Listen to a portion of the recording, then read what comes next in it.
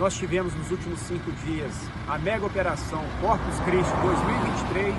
Ela foi realizada em todo o estado de Minas Gerais, cerca de 30 mil quilômetros de rodovias sob a responsabilidade da Polícia Militar.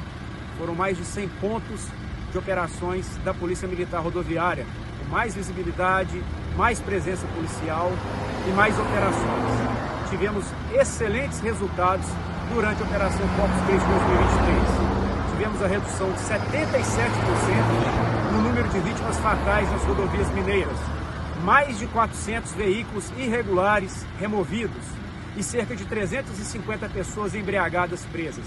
Além disso, tivemos apreensão de armas de fogo irregulares, foragidos da justiça recapturados pelos crimes de homicídio, furtos, roubos e tivemos ainda diversas operações preventivas e orientações aos condutores.